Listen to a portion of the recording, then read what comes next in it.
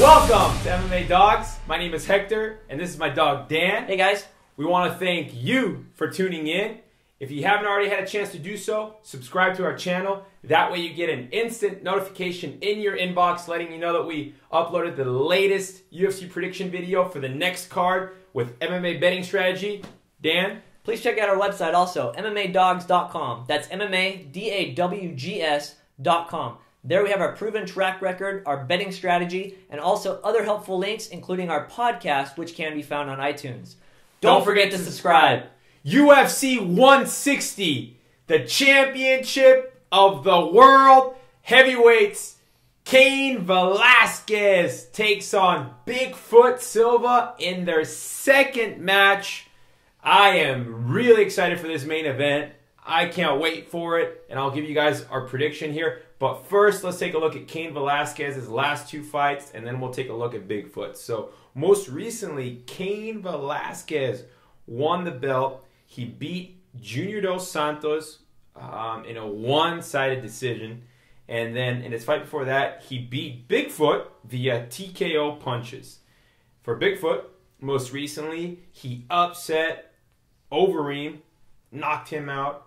And his fight before that, he upset Travis Browne, beat him via TKO.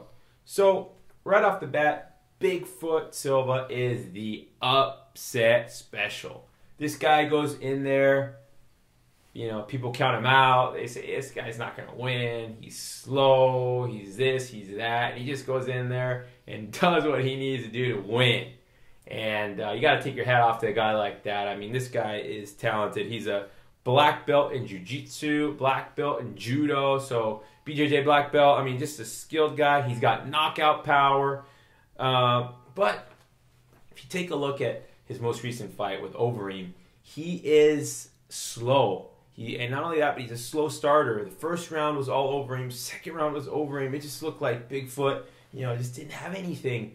And in the third round, he comes out. Now, I will say this: he did look, and he did his cardio did look improved. Um, it looked improved because usually, come the third round, you know, a big heavyweight, slow heavyweight like himself, he's not going to have anything. But he had that that knockout in him, and uh, so props to him for that. Now, if Bigfoot Silva wants to pull off another upset, you know, another upset, if he wants to do that, his third upset and this is a big if. And if if was the fifth, we'd all be drunk. so this is a big if. He's got to go in there and knock out the reigning, defending heavyweight champion of the world named Cain Brown Pride Velasquez. and I don't think he's going to do that, but we shall see. Now, with Cain Velasquez, we have an excellent fighter, excellent wrestler hard worker, trains at AKA with Daniel Cormier, Javier Mendez, and all those beasts up there. Very determined. You can see he lost his belt, came back, beat up Bigfoot, TKO'd him, and then took the belt from uh, from Junior Dos Santos in a very one-sided match. I mean, this this was an upset. He was the underdog there. So uh, you know, excellent fighter. Um, and we can't forget the first fight. I mean, I can't forget the first fight. It was a one-sided beating. I mean, Bigfoot looked like something out of a movie. It's like a bloody mess. I mean, just just the domination. And uh, for Cain Velasquez, it's going to be the exact same game plan: ground and pound, defend his belt. And uh, I truly believe um, that Cain Velasquez is going to be the heavyweight champion for a while. It's not going to be the last fight we see where he defends that belt. And I think he's a guy who takes his fights very seriously very very serious about his career. He's married, has has a little girl. I mean, he's just just a, just you can tell this guy is determined to be the champ, and I think he's going to hold on to it for a while. Now, if you're wondering, it's going to be Cain Velasquez via TKO, five stars in the confidence pick, minus 600. So that implies an 86% chance of winning, which, to be quite honest, is not only accurate, but that's a fair, uh, you know, percentage, 86% that he wins this fight. Um, so minus 600. I do like the bet. I do like it. I like it in a straight bet. So uh, not only that, but also in a parlay. That's my confidence level in Cain Velasquez beating up Bigfoot. Now let's see what my dog Dan has to say. Yeah, dog, this fight looks awesome. And I really hope it, it goes down differently than the last time it happened. You know, you can't count Bigfoot Silva out of out of any any fight. You know, they counted him out in against Fedor and he won. Yep. Uh, a lot of people picked against him against Travis Browne. He won. Everybody picked against him against Overeem, except for me and a few others, Mhm. and he still won. Yep. So, yeah, he, he, he was losing the uh, the first round in that fight, but or the first and second round, but it wasn't that one sided. It was just kind of like Overeem was going to win a decision, but it was wasn't all that exciting. But you know what? He came in through and he just showed that he has that, that knockout power late later in the fight, and um, that's something that Cain is going to have to uh, to work on.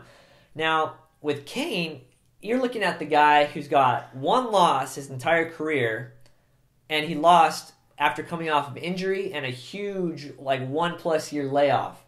So you can't really blame the guy for losing the fight, especially since he already won the belt back from the guy who took it from him.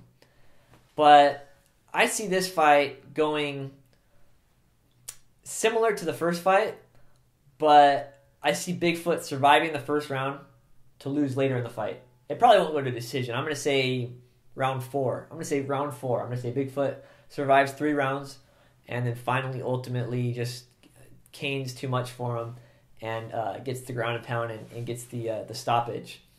So I'm really looking forward to to going to Las Vegas and, and seeing this fight. I'm going to say four stars that we are going to see the Mexican Cane Saw Massacre Part Two. That's